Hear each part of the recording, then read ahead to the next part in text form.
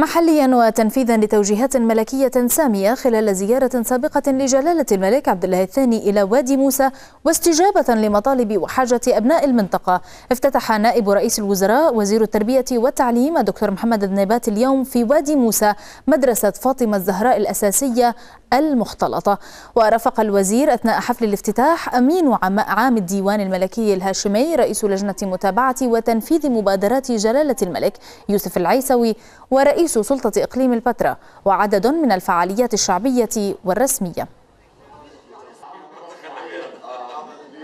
هذه المدرسة مكونة من 14 غرفة صفية تتسع لما يقرب من 300 طالب وطالبة وفي المدرسة أيضا 18 معلمة.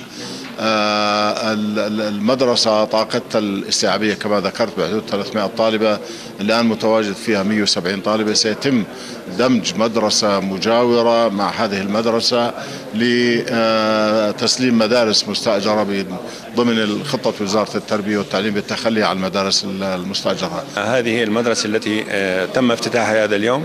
هي بمكرمة ملكية سامية. آه، طلبت من الأهالي من جهة سيدنا عزه الله أثناء الزيارة الملكية إلى هذه المنطقة في لواء البتراء